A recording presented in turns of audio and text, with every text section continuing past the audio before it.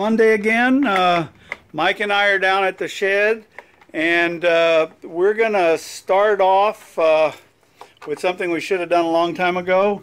I turned the pinball machine over and some more of these plastics fell out. So we are going to take, uh, I'm sorry, some of the, the light simulators fell out. So we're going to take the plastics off and we are going to super glue all of those into their places so that they can't fall out anymore. Um, I don't think I'm going to film that. I mean, gluing, you know, you don't really need to watch that.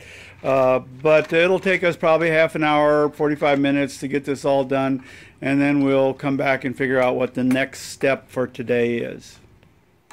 Okay, that actually only took about 15 minutes, and we've uh, got uh, super glue on each of those. We're waiting for that to dry before we uh, put the plastics back on, which will take another five minutes, and then we'll be able to start working. We're going to reinstall the pop bumpers over here, see if we can fix the 8-ball drop target, um, and then we're going to hook up the lights. I've got uh, power supply here that I'm going to wire up so that we can provide power to the LED string and I brought the software with me this time to actually drive them.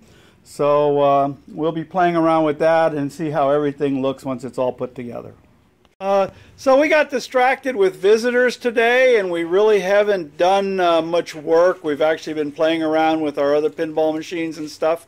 But we did get this put back together and we got all the lights turned on. Uh, so you guys can see what this actually looks like. It, it actually looks really, really sharp.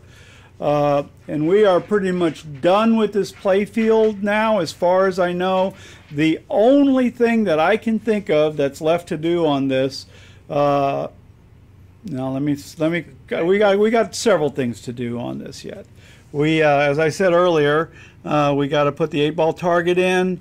We've got to put these drop targets in over here, but underneath the table, we need to uh, reestablish the uh, solenoid uh, expander board connection. So uh, I talked about that in one of our earlier videos where the solenoid expansion board is used to uh, drive three additional solenoids that they needed on this machine. And so um, uh, that is going to be driven off of our custom board. It's got an SCR on it designed just for driving that solenoid driver board. Uh, but that is not hooked up yet, so we're going to have to figure out how to get that hooked up and test that.